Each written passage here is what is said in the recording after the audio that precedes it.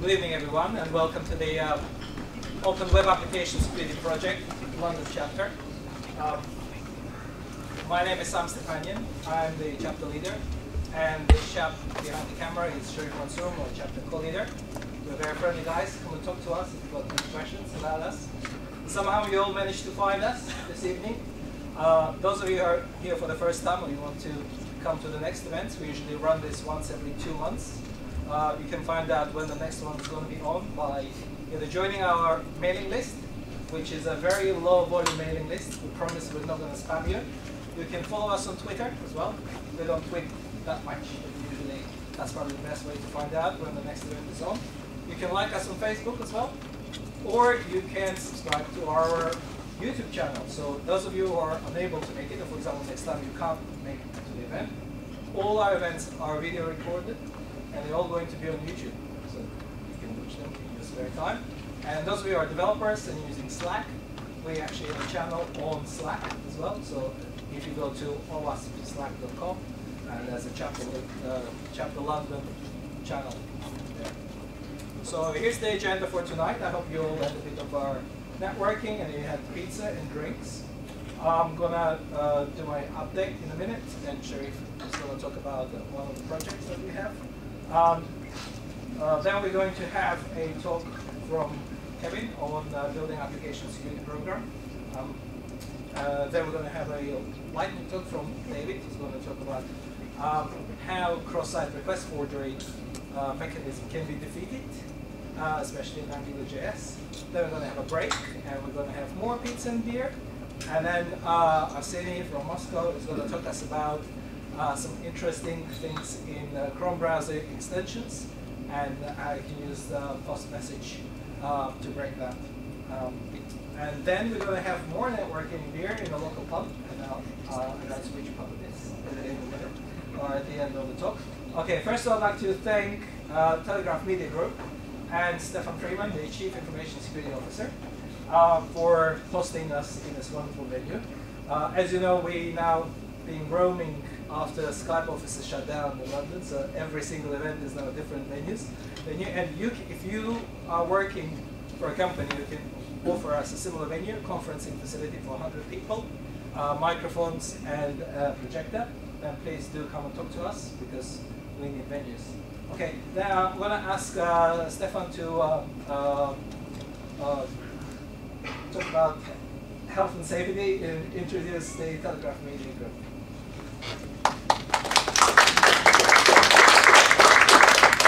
Hi everyone, thank you for coming. Welcome to the Telegraph. Um, I'll get the health and safety bits out of the way um, first. Um, the most important thing, toilets are just out the door here on the right hand side. Um, and if there is a fire alarm, please follow the directions of the security um, staff who chaperone you in. Um, I'm not expecting any fire alarms, uh, so should be alright. Um, so yeah, so this is the Daily Telegraph. While you're milling, you might have noticed the large glass panel behind you. Um, by way of a little explanation of what all that is, um, that's uh, essentially where our journalists are. We have this building used to be a uh, um, part of Salomon Brothers. This used to be a bank. That used to be a trading floor.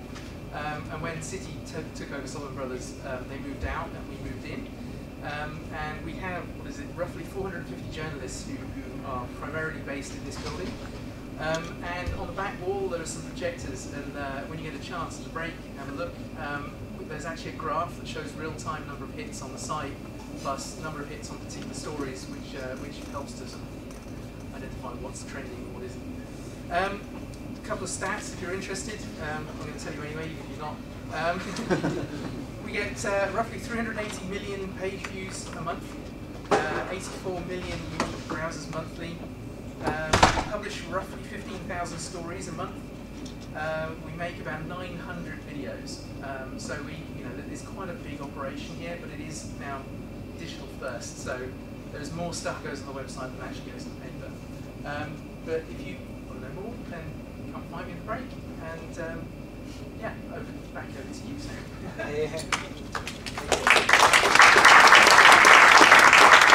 okay, guys. So. Um, very briefly about OWASP, those of you who don't know, we are a global uh, not-for-profit charity Um, our main focus is improving software security.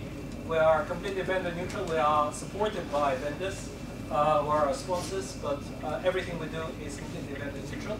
Um, so um, we found a very interesting description of what OWASP is, and I think uh, Dinis particularly liked it, is we are the collective wisdom of the best minds in application, application security worldwide. Um, uh, I think that is a self-explanatory statement, and those of you who are going to explore OWASP more, you will find that we provide free tools, free software, and software for implementation testing, free frameworks, free guidance on how to write secure applications, how to make sure it doesn't get hacked, uh, uh, free guidance on what are the most uh, frequently found vulnerabilities in software, very well known OWASP top 10. Um, and we also create some standards like application security verification standard and uh, software assurance uh, maturity model. all our meetings are free and free beer and pizza is included. So um, um, interesting thing about this is that we're all volunteers, so we're all doing it for free. So uh, myself and Sherif as chapter leaders will contribute our free time to organize these events, to invite speakers, uh, to uh, talk to venues and organize these events. Um, and we have 45,000 uh, volunteers worldwide.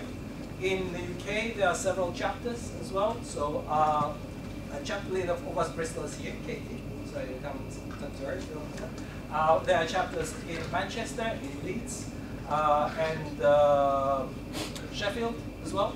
So uh, there, there, are quite a few of them. Most of them are actually in the north. We, for some reason, have no chapters down south. So anyone wants to open an OWASP Brighton, I'll be very pleased.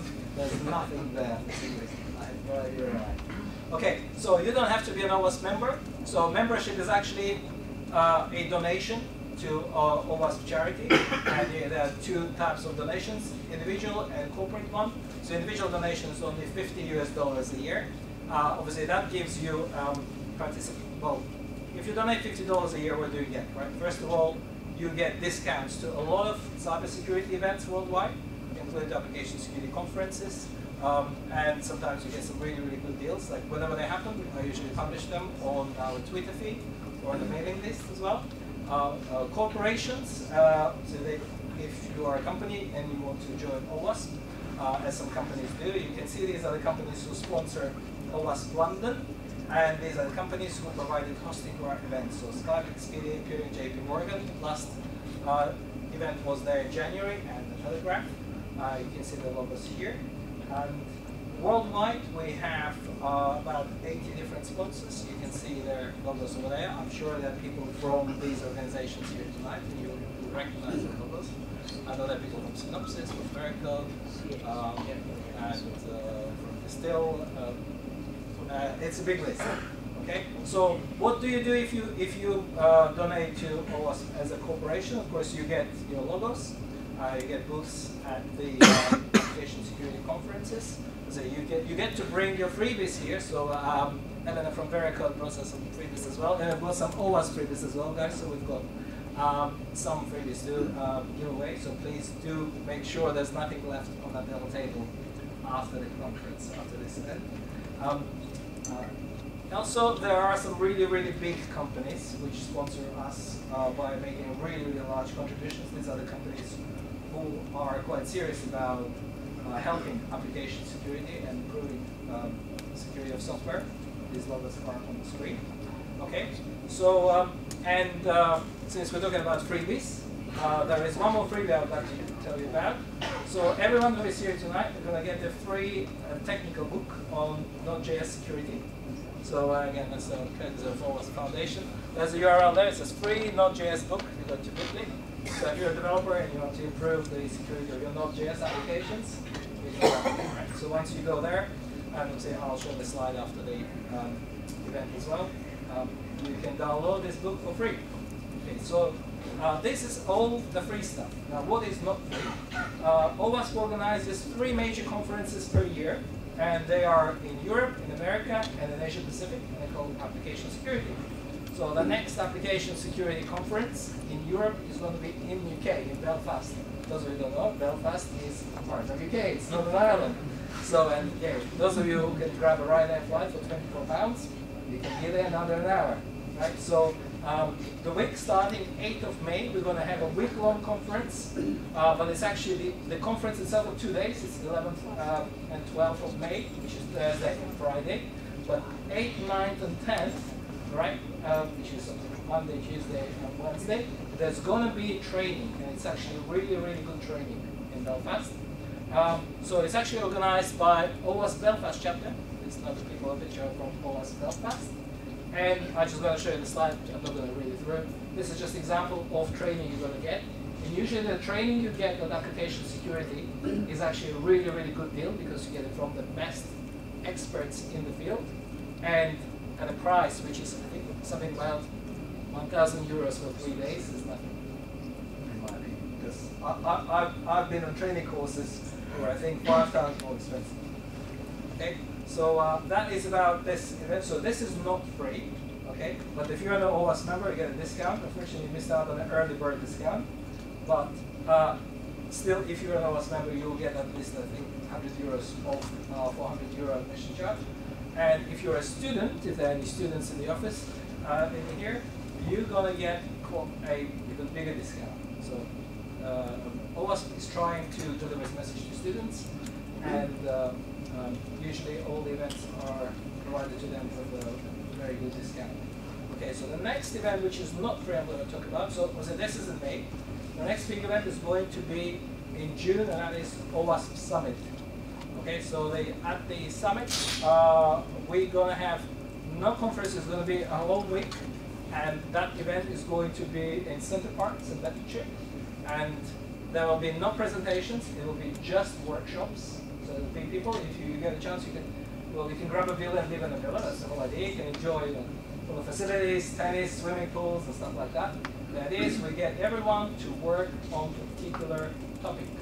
Okay no presentations, it's all regular workshops and for experts to actually move things forward. So these are some, some examples of uh, topics which are going to be discussed. And if you want to find out more about it, uh, Dinis Cruz uh, is one of the organizers. He's here as well tonight, so um, we can talk you through this. The next event which you're going to get a discount is B-Sides London. So B-Sides is one of the largest community-driven conference in the UK and it's very technical. It's uh, uh, mostly for hackers and pen testers because there's a lot of stuff about malware and ransomware in there. That is happening on 7th of June, and uh, I think some of the organizers are in the audience as well. So um, yeah, if you want to attend, uh, we will be there as well. Um, so that is the conference there. Um, now the next project I want to talk to you about before we move to the uh, um, main talks is something called OWASP Code Sprint 2017. So it's a program uh, which is just kicking off for, uh, again, for students uh, to contribute to OWASP projects, and the students uh, will get some monetary reward for it. Actually, my colleague Sherif is going to talk about Yeah, hey everyone. hey everyone. So, starting from April 3rd, there should be an announcement on there we aim to start around the uh, 28th of April and they should finish on the 19th of June. So if you're interested, uh, please apply. Uh, we've sent some of the links uh, on Twitter, which you should have. But also, if you want to contribute, um, the uh, OWASP uh, ZAP project also is looking for interns and it'll be about three, three months. They'll pay also a little bit more than that. Um, if any of you guys uh, know the OWASP pro project, it's a web application security pen testing tool, but also for web uh, developers as well. And um, I also uh, um, am one of the core uh, team members and uh, the product manager there. So if you're interested, please let me know. you can also reach us at um, the the um, uh, dev group, which we've also uh, tweeted uh, there. Okay, thanks. Thank. Okay, and I think now we're going to move on to our main talks. Uh, so let me introduce you to Kevin Delaney, who has traveled all the way from Toronto Canada to be here.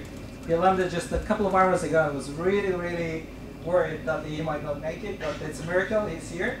Um, So uh, Kevin works at uh, Security Compass in Canada. So yeah, there you go. It's all yours now.